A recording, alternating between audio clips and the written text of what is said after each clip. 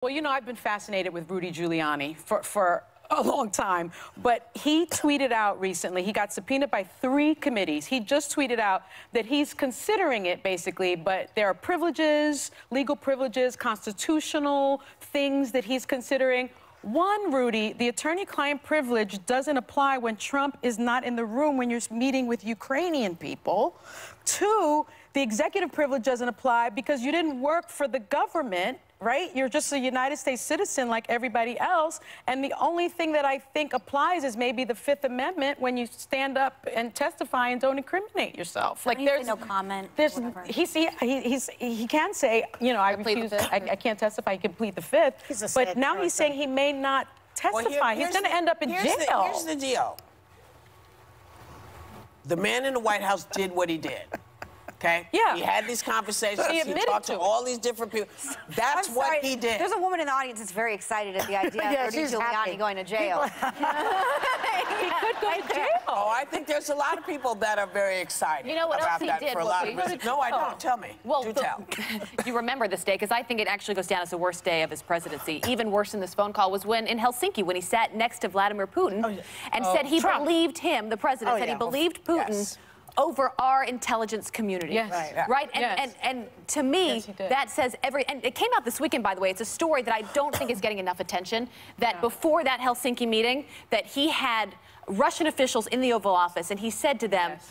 I don't I'm not as concerned. I don't have it word for word, so don't quote me on this, but I, am not as concerned about the Russian meddling because we do the same thing to other countries. Yeah, yes. he likes that. I don't know why people aren't talking about well, that. Because, because when we did talk about it, nobody wanted to hear it. Yeah. Let, let's, you know. Mueller said that that was the biggest threat to our well, democracy yes, he and that did. we needed to pay attention. But let's not lose focus. The man did what he did. Mm -hmm. He admitted to being on the phone with people he shouldn't have been on yeah. the phone with, talking about stuff he probably should not have. And withholding money. And withholding That's money important. that had already been given. That's right. Let us not lose focus. This is, you can spin this any way you want to, but it did happen. This isn't yeah. fake news, this is real news. Yeah. And if these other stories are correct and we discover that they've been sort of futzing around in a way but, that they shouldn't have been, we're gonna, we should be investigating this because you know, if, if, if Barack Obama had walked oh, past boy. Moscow, just past oh, Moscow, oh, boy. if he had driven past Moscow, he, would be well, in they attacked, somewhere. But they attacked so, Obama. They attacked Obama. Talking about the political implications of this, though, just give me one second. Yeah. So say, so impeachment doesn't mean, or investigation into impeachment doesn't mean impeachment. So no. at some point in time, this will reach the Senate. And I don't think it's beneath Mitch McConnell to get extremely dirty in an intense dogfight on this and to bring Joe Biden and his son on the stand mm -hmm. to testify. Then so the political implications yes. for Democrats in this mm -hmm. are intense. And I, for one, don't think, I mean, again, I don't know what happened, but this There's is going to get a there. hell of a lot worse before well, you know it gets what? better. It'll be, yeah. here's the deal. If this were really important to the to uh, you know who in the White House mm -hmm. and to mm-hmm. everybody. We'd have heard about this before the way we've heard about the emails. Oh, you mean the Biden thing? Well, yeah. There's nothing and, to it. And and even if there were, they would bad. have.